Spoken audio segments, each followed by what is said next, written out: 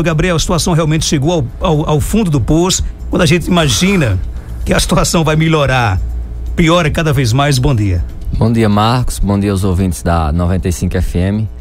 É uma pena a gente estar tá aqui mais uma vez para poder tratar de assunto tão desgastante como esse.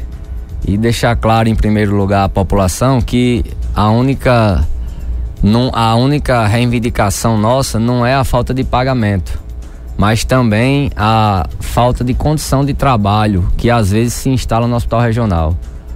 Há cerca de, eu acho que foi em abril, né? Aquela, aquela repercussão que teve, que o secretário veio a Caicó, o hospital estava praticamente desabastecido e foi necessário que a gente tomasse a iniciativa de procurar os meios de comunicação para expor o problema.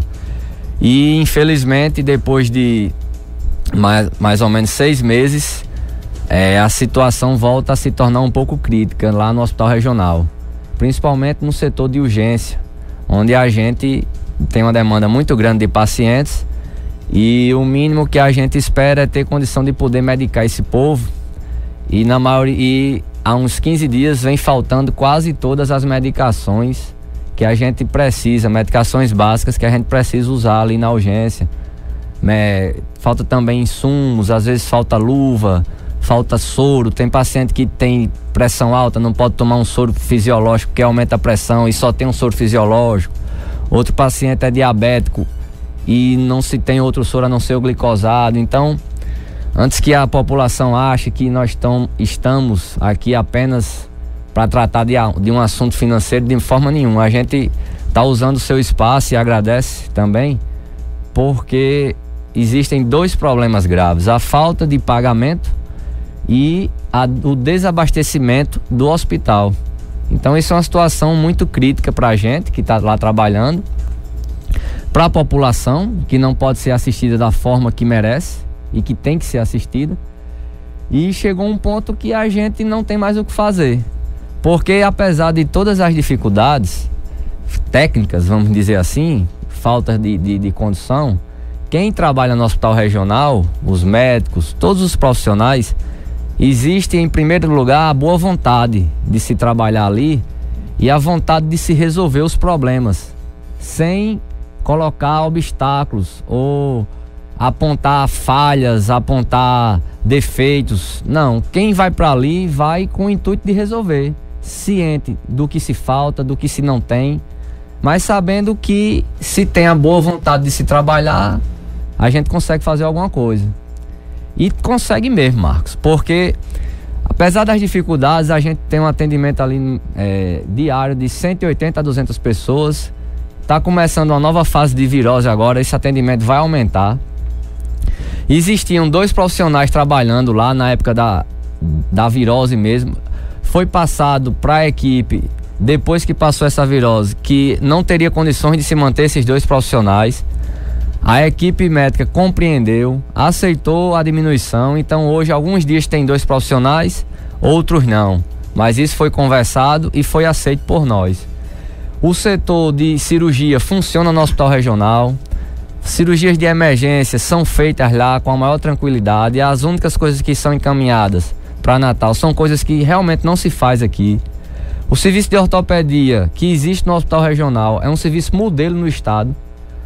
Cirurgias que antes não eram feitas, que pacientes idosos, principalmente quando tem uma, uma queda, que o paciente idoso é muito suscetível, a, suscetível à queda.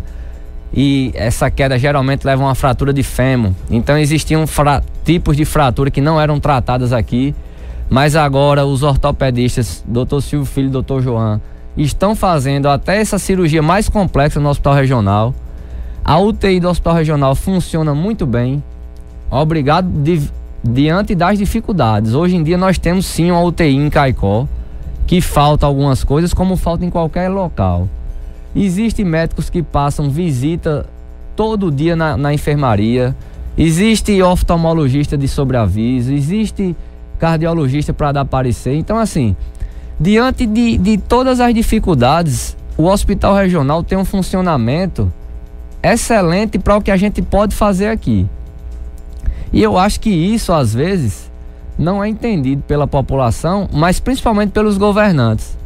Então, se ninguém fala que está lá, se ninguém expõe o problema e a gente fica trabalhando todo dia como se nada tivesse acontecendo, a gente nunca vai ser visto como prioridade para a administração. Porque para a população é muito cômodo chegar no hospital, encontrar lá o profissional médico, dando, dando seu expediente, dando plantão, mas às vezes ele nem procura saber que lá está um profissional que está trabalhando praticamente de graça, né? Isso. O, a grande questão, o povo, a, a, população, ela realmente, quando chega no hospital, vem muito fragilizada. E o primeiro intuito deles é realmente ser atendido. E a gente entende é, é esse, essa necessidade da população. Ninguém vai a um hospital desnecessariamente. Para passear, né? Mas assim, a, eles têm que entender também que os médicos, os profissionais de saúde, antes de serem profissionais de saúde, são cidadãos, igual a eles.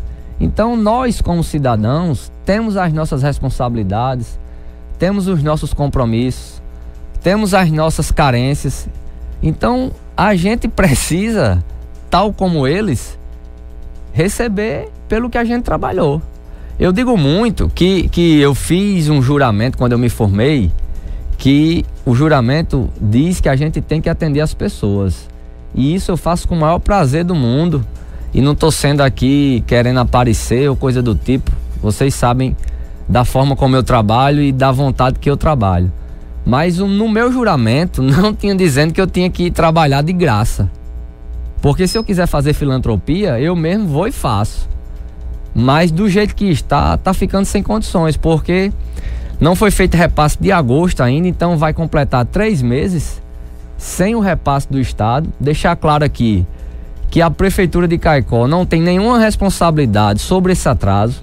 Pelo contrário, a Prefeitura, às vezes que pôde, junto à Secretaria de Saúde, segurou o pagamento da gente. No começo do ano foi uma época difícil, onde teve que se renovar esse contrato de, de, de repasse do Estado para o município a prefeitura tinha um dinheiro e honrou o compromisso, esperando que depois o Estado repassasse. Mas chegou a um ponto que a crise é tão generalizada que o recurso da prefeitura também não está tendo mais como manter o pagamento da gente. Então a gente é ciente disso. Outra coisa importante que a gente tem que deixar claro à população: o serviço ainda não foi parado no CESP principalmente, primeiro, em respeito dos médicos à população. Isso é, é a primeiro, o primeiro fato. A gente tenta sempre não tumultuar as coisas, porque eu acho que o caos instalado, você querendo piorar o caos é uma coisa muito complicada. Então, piorar seria parar hoje as atividades? Hoje, a gente não quer que pare, mas. E não parou ainda por conta do bom relacionamento e do, da parceria que a gente tem com a direção geral, na pessoa de Luciana, na direção médica com o doutor Silvio Filho, que a gente sabe que eles são parceiros nossos, são lutam pelos nossos direitos. E se não saiu nada, se não conseguiu se resolver o problema, não foi por falta de interesse deles.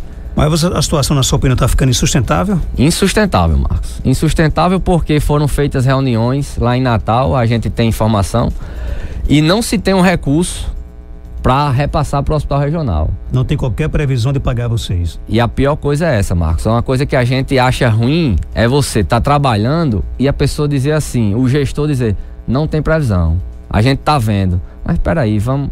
A gente sabe da crise, a gente sabe que isso é uma crise nacional, motivado pelo desajuste governamental que vem desde o governo federal. Então, se o governo federal é o agente arrecadador de imposto, que é, arrecada mais de trilhões no ano, já arrecadou mais de trilhões.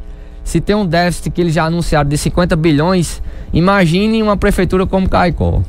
Então, numa falta dessa, numa crise, o dinheiro ele não está sobrando, mas ele tem que ser eleito as prioridades para se você usar o dinheiro. Então, a gente só quer aqui que o CESP seja visto como uma prioridade, porque o CESP hoje, em Caicó e no Siridó, ele tem que ser visto como prioridade. Porque, Marco, você quer ver um tumulto, o, o caos completo é a gente pare de atender, não precisa ser uma semana não. Você pare de atender um dia ali no hospital regional. Doutor Gabriel, eh, quantos profissionais hoje estão na mesma situação que você está? Rapaz, eu acho que, assim, só os profissionais que são do Estado, que são poucos lá na urgência, é que recebem o dinheiro deles já pelo Estado. Quem faz, quem, quem atende através dessa parceria do município com o Estado está sem receber. Está sem receber o dinheiro. E vocês pensam em levar isso até quando? Qual é o limite de vocês? Marcos, a gente vem, vem arrastando isso, a gente.